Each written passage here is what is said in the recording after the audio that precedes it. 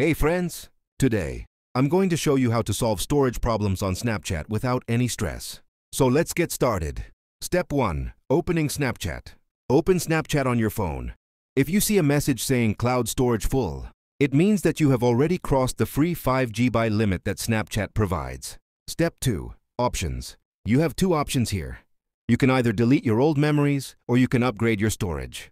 Go to Memories and carefully delete the snaps that are not important or that you don't need anymore. Step 3. Backup check. Next, go to Settings and open Memories. Check the backup progress. There and make sure that Auto Backup is turned on. This ensures that all your important snaps are safely backed up. So don't panic if you see any message about storage.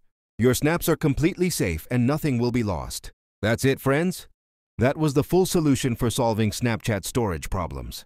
If you enjoyed this video and found it helpful, don't forget to like it and subscribe to the channel. I'll see you in the next video. Bye!